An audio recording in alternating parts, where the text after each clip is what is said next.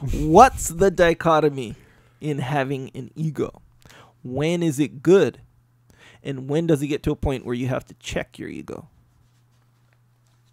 Okay, so the dichotomy is pretty clear.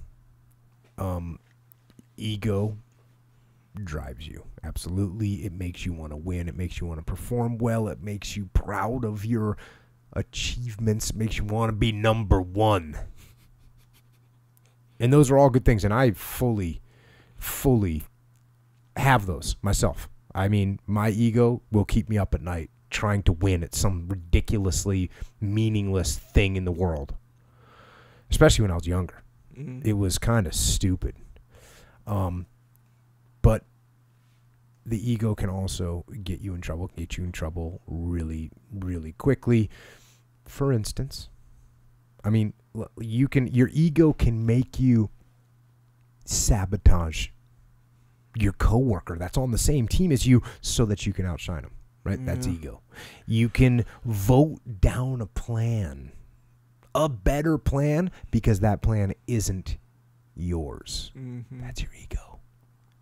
You can chase some material items, something, something that you don't really need. Maybe in some cases, it might even be something that you don't actually even want, and it's just fueling your ego. Mhm. Which is which is a really bizarre thing to see. It can make you step on your subordinates, right? Mhm. it can make you undercut your peers because that ego flares up. It can make you, your ego can make you dig in, dig in on some stupid ideas that you've had. Those are the kind of things that ego do, and all those things are negative. So that's pretty clear to me where ego starts going sideways. And and I would say even though like my ego always fueled me to to to want to win, but I never was that out of control where I was like screw I'm screwing people over because I wanted to win. No, I wouldn't do that. That wasn't part of my personality. Wasn't I'm not that. Plus I was never really naturally good at much.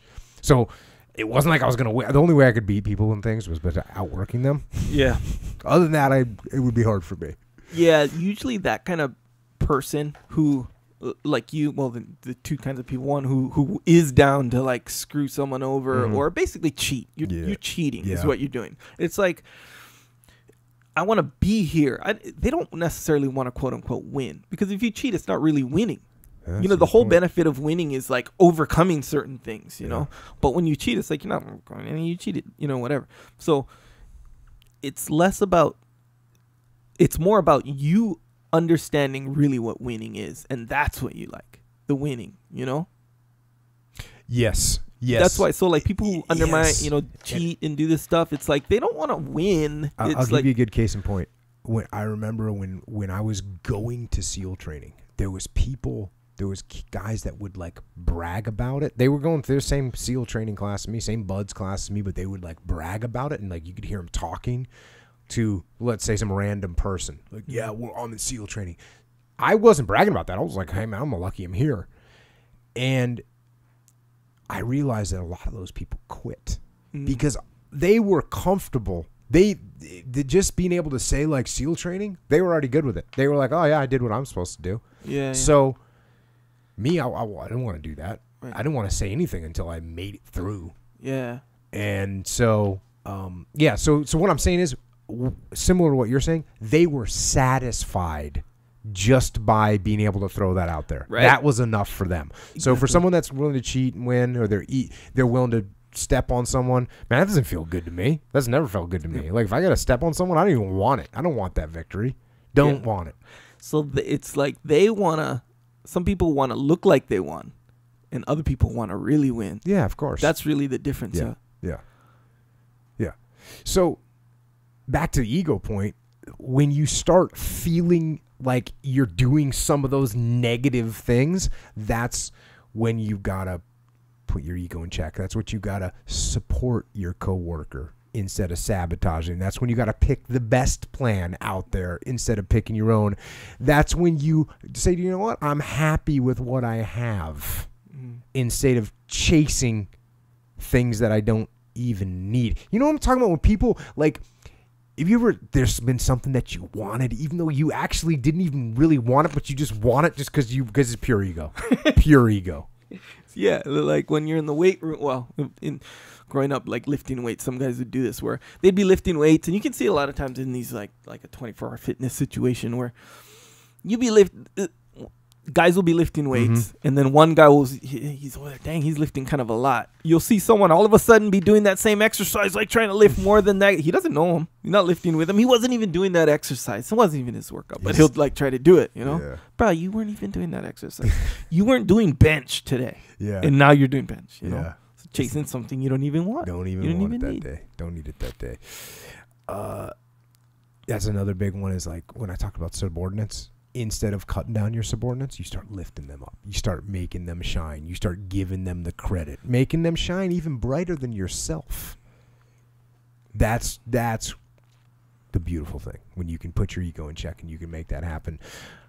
Making your own boss look good, having an open mind to new ideas. Those are the things. That's how you put your ego in check. Those are the things that those are the those are the hallmarks of having your ego in check. Now, sometimes people don't know when they need to put their ego in check, and I think there's one really easy indicator to know when you need to just at least like uh, do an assessment of your ego, and that is when you come into conflict with another person, because because yeah, a huge percentage of conflicts that you have with other people are ego Yeah. are their ego. And so when you feel that conflict, whether it's about positioning, whether it's about an idea, whether it's about a plan, whether it's about, well, no matter what it's about. But if I'm in conflict with you on something, immediately I'm going to say, okay, wait a second. Is this your ego talking? Yeah. Or eh, are you, is, is this business or is this ego? yeah. And if you do that, you will find yourself, you know, any form of frustration or anger that you have, just check your ego. And there's a Mhm. good chance that you're going to be able to take that thing, get a hold of it, and aggressively put it in check. It's hard. Your ego is a tough bastard. Yeah. Your ego, man, that thing wants the spotlight. It wants to shine. It wants the glory, and it's it's driven. You Yeah. know, that's a lot of you high achievers out there. That's what's driving you, and that's not a bad thing. So when it comes time to harness that bad boy, it can be a challenge, but it's very rewarding when you make it happen. It's it's rewarding in a long term gratification.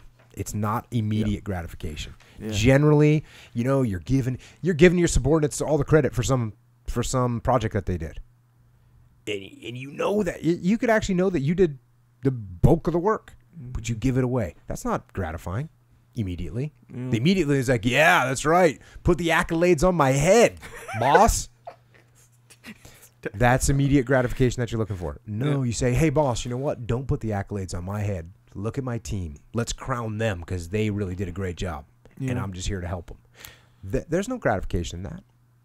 But when you get feedback a week later, a month later, six months later, people want to come and work for your team. Now your team gets picked for another project. That's the long term gratification that you get when you keep your ego in check. Yeah. Keep that ego in check, people. Yep.